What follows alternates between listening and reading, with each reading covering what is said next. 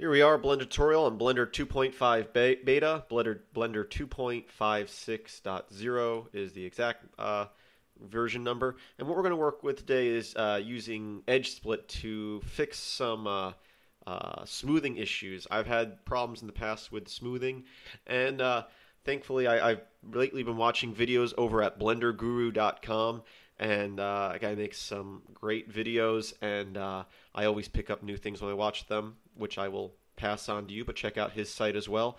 I'm going to delete the default, default cube here, hit spacebar, and add a cylinder.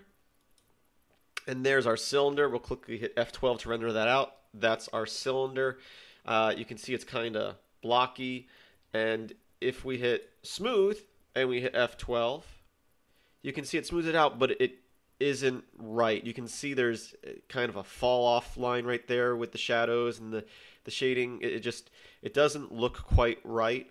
And if you were to animate this and have the camera or the cylinder move, you'll get a bunch of flickering uh, around this edge here. How do we fix that? Very simply, we go over here to modifiers, the little wrench icon, and we'll go down to modifiers and we do split edge. And right away you can see that it looks different in our 3D view here. If we hit 12, F12, you can see we now have a nice cylinder with a nice smooth uh, shading and the cylinder itself is smooth.